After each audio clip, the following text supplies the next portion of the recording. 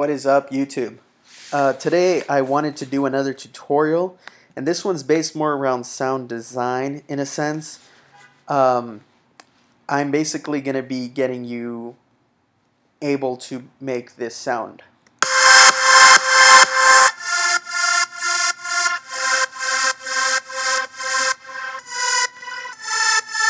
And so what I want to talk about with these sounds is, um, as you can tell, they're not, it's not Sylenth, it's not Nexus, and anything like that. And so what inspired me to make this tutorial was I was out of town once and all I had was my hard drive and I really had an idea to make a track and uh, and I just needed a Mac to plug in my hard drive, run Ableton, and make something and put it down. Um, I found a Mac and I plugged in, and the only thing I realized was, you know, I don't have any third-party plugins to get the sound, the saw sound that I wanted. So I thought, okay, what do I do? And I remembered I made a bank of samples of uh, saw notes. Um, I made every note in the in, in an octave because um, I use them for effects risers in my buildups. And what I did basically was I loaded up a drum machine and I knew my chord progression, so I just put the notes that I needed into my drum machine and just played them over the sections that I needed. And um, and that's exactly how I got the chord progression uh, to sound that way was simply from using a sample of a saw. Um, you know, a lot of times there's criticism on using samples um, in in production just because you know people are afraid of a lack of originality or or stealing other people's work. But in this case, um, it's simply a saw synth, and I thought, you know what, I had to improvise and be creative in how I can get the sound I want, and so I used a sample and it's really effective. And the one thing I do have to say about this, the main reason I felt like I needed to share this was because it actually sounds a little bit better. Um, and I'm not sure exactly why. But the one thing I will say is that through a little bit of processing, it it gets the sound that you need. And even though, you know, at the time that I was getting this done, I didn't um, expect that I would be using it throughout the whole song or through the whole production. You know, I, I mean, I kept it, but of course, you know, once you get home into your studio and start putting it into your computer, then of course, then you can change the the sounds and everything like that.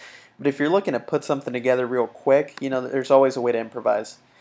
Basically, what I did is I took, like I said, the notes of each um, of of the chord progression that I had already. Um, that I made on a piano, so I knew the chord progression. I so I knew what notes I needed to put into my drum machine and just play those when I needed to. Um, and you know, after a little processing, a little reverb, some chorus, some sidechain compression, I got the result that I wanted.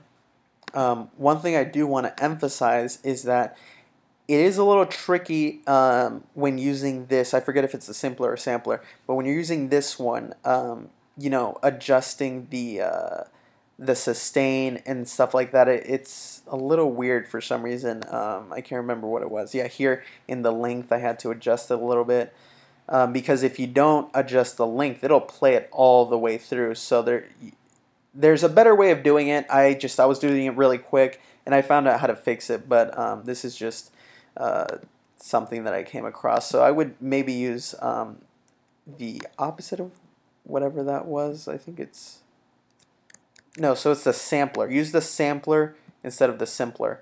Uh, maybe what you could do is get an instrument rack and create a lot of instances of the simpler and just do the hold function so that it just holds the note as long as you insert it to.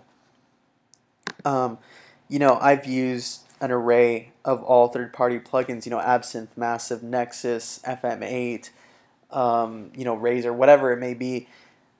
And, uh, you know, of course, there's a little bit more flexibility to using those synths, but really you get a, a, rich sound out of this. You know, after processing it, I really actually liked it, and that's why I kept it.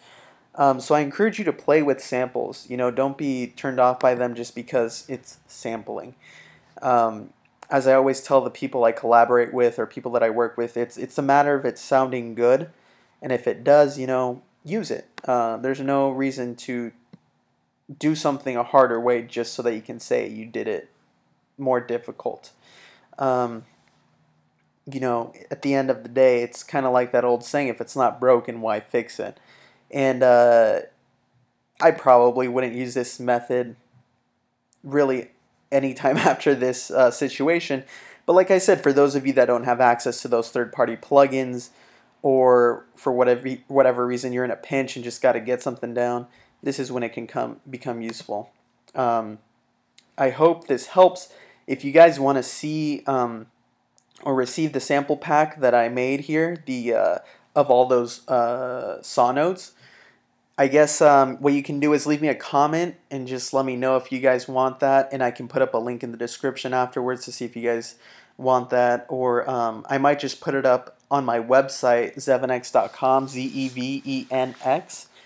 I have a music production, um, or under the courses section, you can actually um, just look under there, and I'll probably just upload it to that uh, site and download it directly. Um, if you guys have any more suggestions to uh, things you want me to do tutorials on or or talk about, let me know in the comments or tweet me at ZevenXOfficial. Um, follow all my uh, social media just because that way whenever I do upload a video you get that instant feed and you guys will be aware of what's next to learn. So talk to you guys next time.